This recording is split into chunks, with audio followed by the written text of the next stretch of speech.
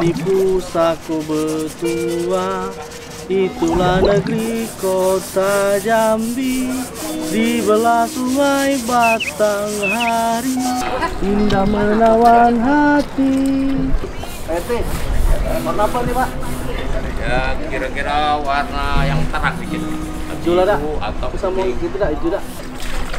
Di sini salah satu spot eh, genangan air pada saat curah hujan tinggi. Nah, salah satu penyebabnya tadi adalah eh, sampah karena memang posisi Lebak Bandung ini eh, berada di bawah dari kelurahan lain atau cekungan sehingga banyak sampah dari kelurahan-kelurahan tetangga yang juga ikut mengalir ke sini. Sehingga diperlukan peran serta masyarakat, peran aktif masyarakat untuk menjaga kebersihan lingkungan terutama setelah curah hujan tinggi harus tetap melaksanakan gotong royong atau pembersihan kali dan drainasi di sekitar rumah.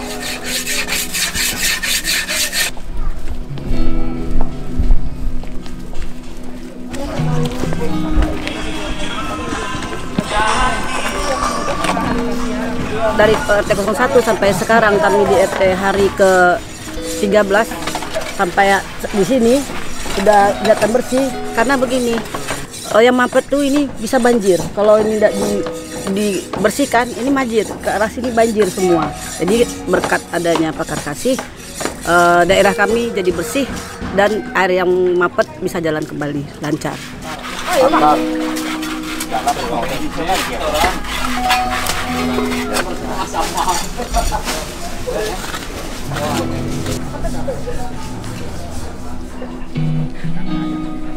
Ada orang ngomongin.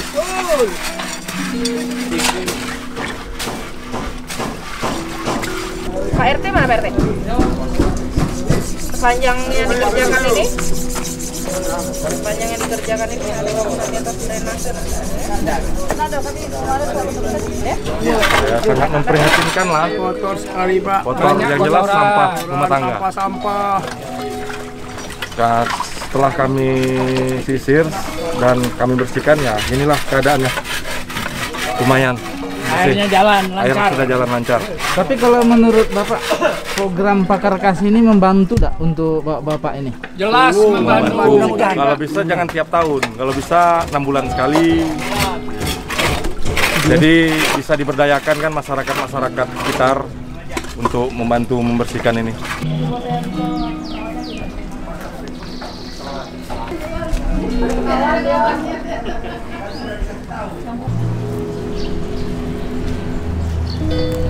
Pakar Kasih di Kecamatan Jelutung tahun 2021 Alhamdulillah berjalan dan sekarang sedang progres.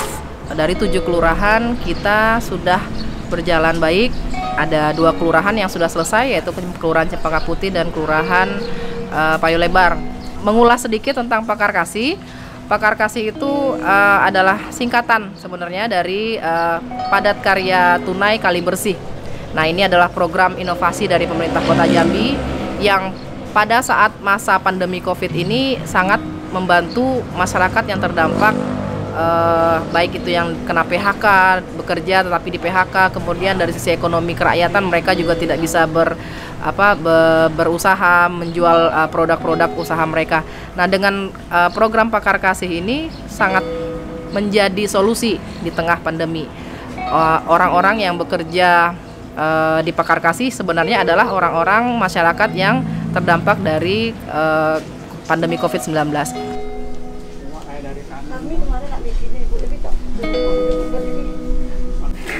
karena rumah di ujung di belakang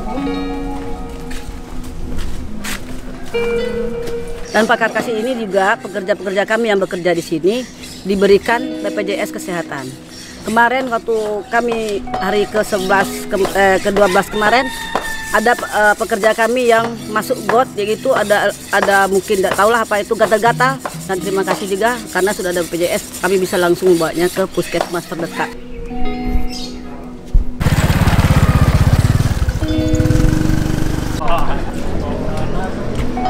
ada langsung kami dari Babin Katimas mengimbau nah, jika ada nampak yang kotor kami himbau langsung jangan selanjutnya membuang sampah ah, di yang air apa dilalui oleh ah, air karena bisa menyebabkan banjir. Program ini cukup ah, lumayan brilian, ya, cukup bagus. Nah, lingkungan ini menjadi bersih, ah, udara menjadi segar, masyarakat menjadi malu untuk eh, membuang sampah di eh, hulu sungai.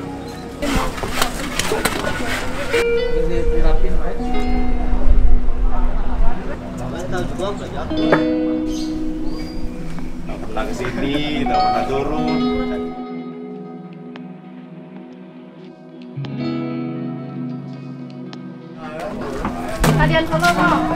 Eh, paket kasih di lingkungan Kelurahan Handil Jaya ini itu membersihkan saluran drainase yang ada di Kota Jambi khususnya di, kelura- di Kelurahan Handil Jaya. Eh, di Kelurahan Handil Jaya sendiri itu drainasenya mempunyai panjang sekitar 2.500 km, 2.500 meter. Jadi eh, kita mempunyai target per hari. Kita eh, bekerja untuk membersihkan saluran itu selama 15 hari dikasih oleh di instansi PU. Jadi 2.500 itu nanti dibagi per 15 hari kerja, nanti dapat target per hari untuk membersihkan saluran. Saluran yang dibersihkan tidak hanya sampah yang ada di dalam saluran drainase, tapi juga eh, eh, apa semak-semak rumput satu meter kiri dan kanan di saluran drainase sehingga aliran bisa aliran air bisa mengalir dengan baik tidak terjadinya banjir. Saya berharap kepada pemerintahan Kota Jambi untuk program Pakar Kasih Padat Karya Kali Bersih ini kalau bisa dua kali setahun yang selama ini satu kali dalam satu tahun untuk ke depannya dua kali dalam setahun dan selanjutnya juga kami dari tiga pilar Kelurahan Jelutung Lurah, Babinsa, Babkitipmas tidak bosan-bosan dan tidak henti-hentinya mengimbau kepada warga yang tinggal di sekitar sungai ini untuk selalu menjaga kebersihan sungai kita dengan tentu dengan tidak membuang sampah ke dalam sungai. Sungai bersih, masyarakat sehat. Sudah dekat jendela. Ya, ini udah batas pinggang kalau posisi di sini. Yang rumah yang orang pada mengungsi nih, batas pinggang.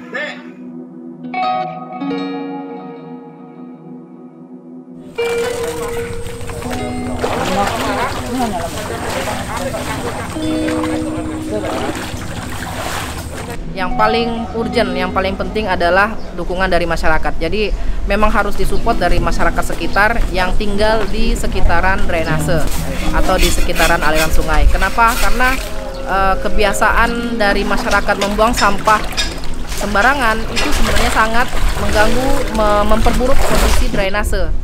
Jadi memang kami berharap dari pemerintah Kota Jambi, kita pemerintah Kota Jambi sudah membantu dengan inovasi tersebut. Masyarakat juga support. Kita berharap masyarakat support untuk membantu membersihkan lingkungan sekitar minimal di sekitar rumah tempat tinggal. Memulai memilah sampah rumah tangga, sampah kering, sampah basah, plastik, organik. Nah, itu mulai sudah harus menjadi kebiasaan dari rumah tangga. Jadi mudah-mudahan masyarakat juga memahami, kita bekerja sama, pemerintah membantu dalam program Pakar Kasih dan masyarakat mendukung menjaga kebersihan lingkungannya. Thank